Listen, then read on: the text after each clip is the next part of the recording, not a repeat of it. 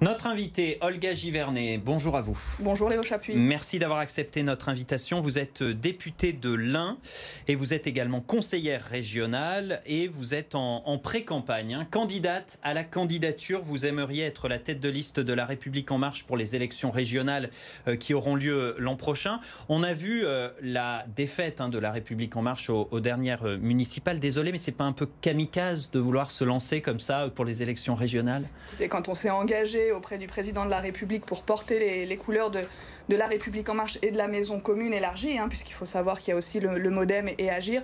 Je crois qu'il ne faut pas se détourner aussi des euh, élections locales. L'ancrage local, c'est une expérience pour nous élus.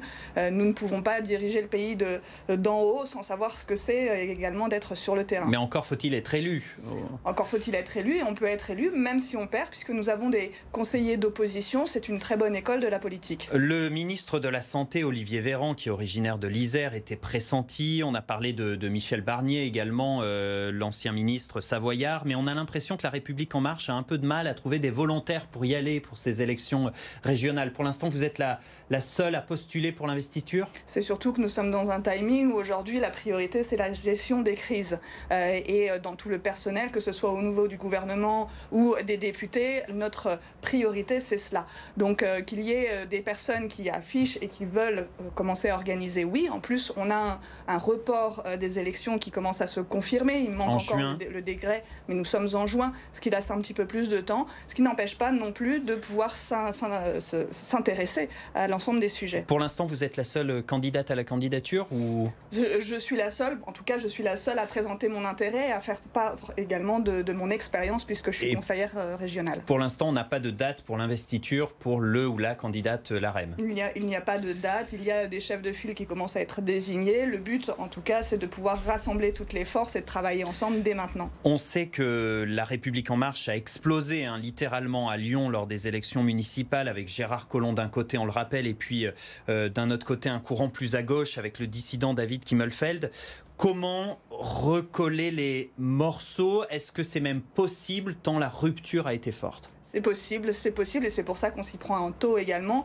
Moi, mon but, c'est de pouvoir toucher l'ensemble de nos militants et de nos sympathisants, engager les discussions, se projeter dans un projet et réagréger tout le monde vers une candidature solide. C'est une candidature euh, de scrutin de liste, donc ça veut dire qu'il y aura 204 élus, 230 euh, candidats pour euh, la, la maison commune et donc nous avons des moyens de rassembler tout le monde et travailler ensemble. Donc ça veut dire que là, vous vous activez sérieusement en coulisses, j'imagine, parce qu'un nouveau référent La République en marche devait être nommé en novembre pour la métropole de Lyon.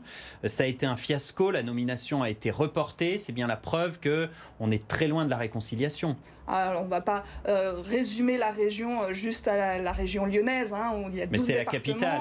Une, une métropole. Euh, le, fait d'avoir une structuration solide au moment des régionales est importante évidemment, mais il peut y avoir un temps où les discussions se, se, mènent. En tout cas, tous les autres départements, eux, sont bien, bien en marche. Ils vont, et ils vont se mobiliser autour de cette campagne, de travailler sur le projet. D'ailleurs, nous avons déjà évoqué les pistes et les axes de cette campagne sur lesquels nous voulons avoir une proposition forte et, euh, et, donc euh, ça n'empêche pas de travailler avec tout le monde. Mais il y a un gros travail à faire à Lyon. Il y, a un il y a un travail à faire à Lyon, mais les militants sont déjà, déjà mobilisés et on n'a pas besoin d'attendre le référent pour pouvoir discuter ensemble. La députée euh, Aurore Berger reconnaissait il y a quelques semaines il y a un malaise profond au sein de la République en marche, il faut qu'on se ressaisisse, disait-elle.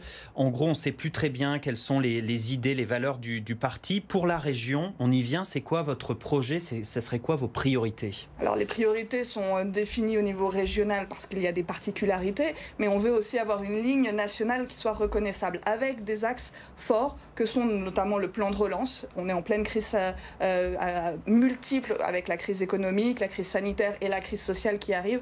Donc le plan de relance, il faut pouvoir l'accompagner.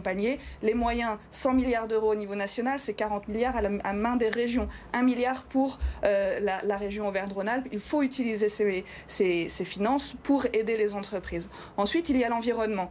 La question environnementale, même si on en parle un peu moins, touche beaucoup les, euh, gens et on voit la limite de ce que les écologistes aujourd'hui peuvent amener dans leurs moyens de gouvernance. La démission de la, maire de Marseille en est un exemple. Nous, nous sommes dans une, approche environnementale pragmatique, de long terme. La question de, la biodiversité, mais aussi de, l'énergie me touche particulièrement. Notre région doit pouvoir être un exemple, un modèle euh, de, euh, de, mix énergétique. Les, les Verts qui font d'ores et déjà campagne, une campagne assez agressive hein, contre Laurent Vauquier, tout sauf Vauquier hein, pour les écologistes. Est-ce que vous êtes sur la même ligne ou alors vous reconnaissez à Laurent Vauquier une certaine réussite?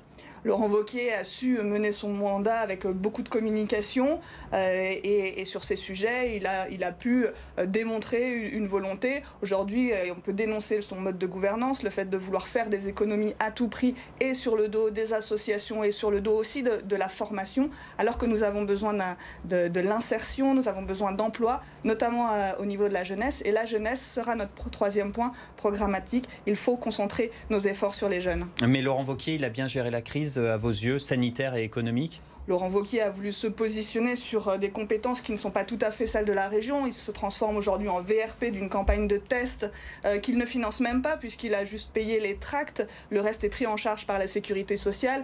Euh, l'agence régionale de santé est également mobilisée dessus. C'est son choix. Mais moi je dis attention, attention, les tests n'empêchent pas de, de, tomber malade. Et il faut se rappeler qu'il y a quand même trois aspects importants. C'est limiter son contact social avec, avec l'isolement, les gestes barrières évidemment, et puis le port du masque. Le Noël, Noël va être l'épreuve du feu pour cette épidémie. Euh, dernière question, euh, vous êtes en déplacement toute la journée à Lyon, c'est quoi votre programme en quelques mots? Alors je, je, vais aller euh, voir My Presqu'île, voir les commerçants, et puis après avoir des déplacements auprès, auprès de jeunes entreprises pour voir comment ils s'en sortent, s'assurer qu'ils soient bien au courant de tous les moyens qui sont mis à leur disposition. C'est souvent que j'ai des entrepreneurs ou des artisans qui me disent moi j'ai rien touché, j'ai commencé mon activité en début d'année, je n'ai rien touché. Et là, je leur dis, mais s'il y a des choses pour vous, euh, ne vous inquiétez pas, il faut pouvoir aussi euh, amener de l'information au plus proche du terrain. Merci d'avoir été avec nous euh, sur BFM Lyon. Olga Givernet, donc députée de l'Ain, conseillère régionale déjà en campagne, hein, puisqu'elle brigue l'investiture de la République en marche pour les régionales.